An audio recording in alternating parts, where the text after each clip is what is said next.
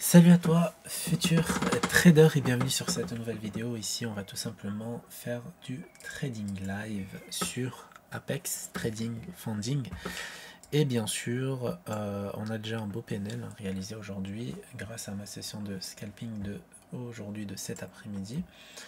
Et je vais tout simplement continuer pour essayer d'aller beaucoup plus loin. Donc, je me lance rapidement sans vous faire perdre du temps. Je vais placer mon stop loss à peu près par là. Et bien sûr, avant de commencer sérieusement cette vidéo, j'espère que tu pourras me mettre un petit like, un petit commentaire et t'abonner si c'est pas euh, déjà fait. Donc l'objectif c'est vraiment d'y aller à fond parce que là tout de suite c'est un challenge et c'est pas du PA. Par exemple sur ma dernière vidéo et sur mon trading live avec la communauté c'était plutôt mon PA donc j'allais en deux contrats. Mais vu que c'est un challenge et que j'ai une très très très belle configuration donc j'hésite pas à prendre des risques pour pouvoir tout simplement le valider le plus rapidement possible. Donc il manque à peu près 1500 dollars. Donc on enlève les commissions à peu près ça fait 1700 dollars je pense à faire pour ma session de trading. Donc rapidement je vais resserrer le TP parce que ça a l'air de galérer. Donc j'ai tout simplement shorté cette résistance qui m'a l'air pas mal. Euh, je pense que si le prix passe au-dessus, il y a moyen qu'elle s'invalide et on pourra aller chercher peut-être un tout petit peu plus haut. Donc on verra pour le moment on y est. Donc pour pas se faire chasser, je vais juste éloigner mon SL et bien sûr attendre que le marché puisse me donner une dernière chance. non, je rigole. Je n'attends rien du tout euh, du marché. Je trade en fonction de mes setups sur mes des écrans. Donc ici, j'ai bien un, setup acheteur. Par contre, sur le 1 minute, sur le footprint, j'arrive sur une zone de résistance où on voit des ordres au marché plutôt bien postés. C'est pour ça que je me suis posté. C'est pour ça que ça va normalement. Euh, TP en termes de probabilité. Donc j'éloigne mes stop loss et je vais aller chercher le minimum syndical Order euh, sur donc ici, rapidement, hop. Donc 1900, donc on est passé à 1900. Je vais continuer à short le euh, marché. Order filled. Stop là juste au-dessus. Le TP, je vais le resserrer un peu. Et donc normalement, je vais prendre 400 dollars assez rapidement.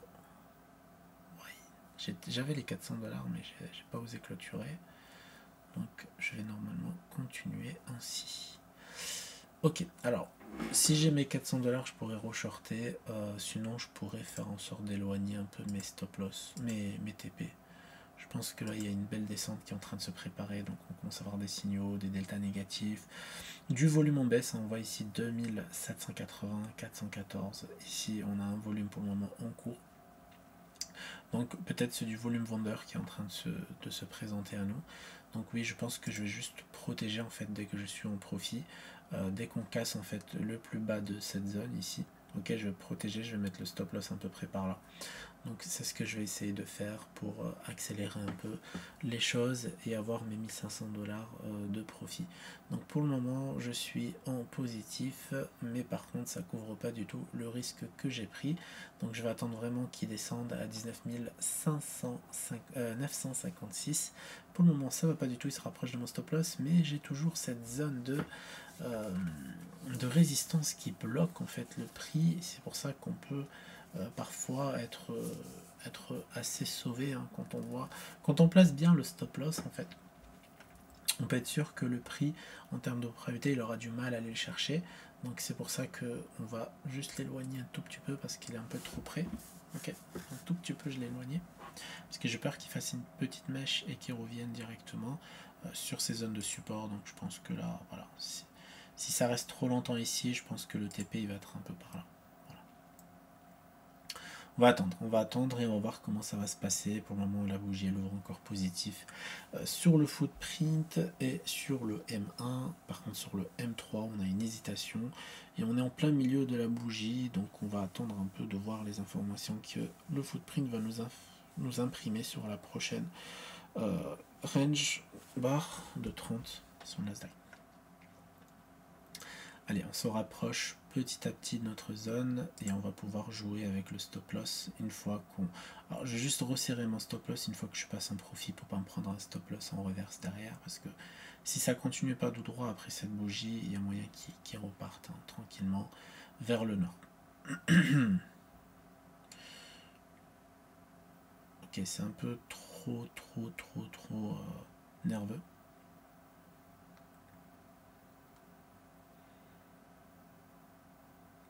Ok, on va attendre encore un peu. La bougie est en cours, donc bougie clôturée sur le M1. Donc le range, ça se clôture au bout de 30. Ok, ça va repasser en positif.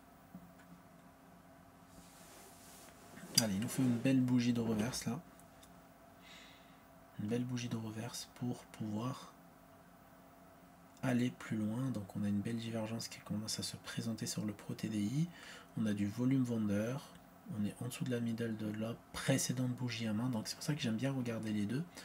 je ne regarde pas que le footprint seul, car ma stratégie n'est pas basée sur que le footprint. Le footprint, c'est vraiment pour lire les informations euh, directes au marché, et ce, footprint-là, pardon, euh, me donne aussi des informations, des signaux, etc.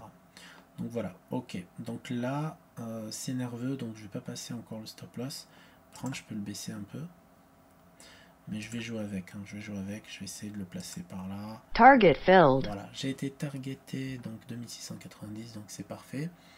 Alors, là maintenant, je vais attendre un tout petit reverse et je vais continuer. Parce que là, ça y est, si ça casse le support, là, c'est fini. Hein. On, peut, on, peut, on, peut, aller tout droit. Hein.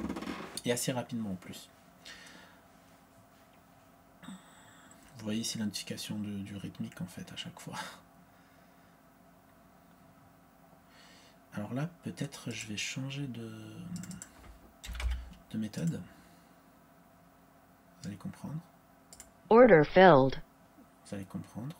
Je vais prendre que des impulsions en arrière. Target filled. Donc je continue. Hein. Il, me, manque 400, 300 euh, dollars, même pas 240 dollars, parce que ça c'est sans commission. Vous voyez, ça casse, ça, ça accélère. J'attends que ça reparte un tout petit peu. Il reste 8 secondes avant la bougie. Donc là, j'attends la clôture de la bougie. Ça va revenir à peu près par là. Et là, je vais le shorter pour, euh, pour ce dernier trade.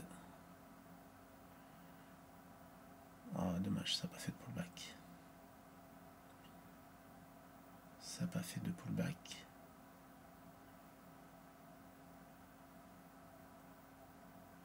Ok, ça va y aller, dommage. Et sans moi, tant pis j'aurais essayé pour cette fois-ci. Je vais mettre pause et attendre un peu. Alors là, je vais essayer Order de le prendre comme ça. Allez, un petit, on pousse.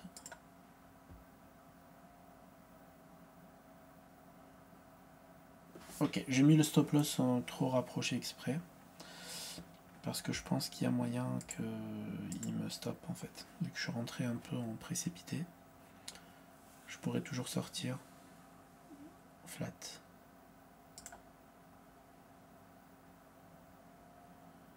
Là, je joue avec le stop loss sur l'autre écran.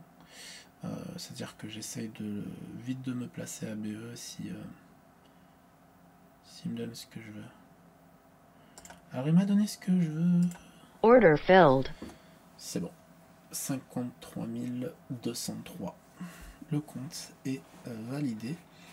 Encore un PA. Encore un PA euh, débloqué. Donc du coup ça me fait 3 PA à 50k et un PA à 25k.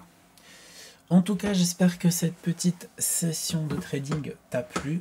Euh, c'était du scalping. Alors, pour te montrer rapidement pourquoi j'ai vendu, pourquoi je me suis mis à vendre. Alors au début j'étais acheteur.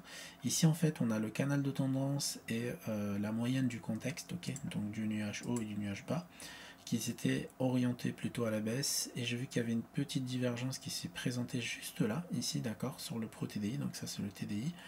Et j'avais, euh, je commençais à avoir du volume vendeur et carrément du volume au-dessus de la moyenne. Et sur cette base là que j'ai pu euh, valider mon compte. Donc voilà, donc j'ai 53 203 euh, sur ce compte-là, je suis assez content. Maintenant, je vais tout simplement continuer à trader, mais plutôt sur mon PA. Mais par contre, vu qu'on est vendredi, ma semaine est terminée et on se retrouve pour la prochaine vidéo.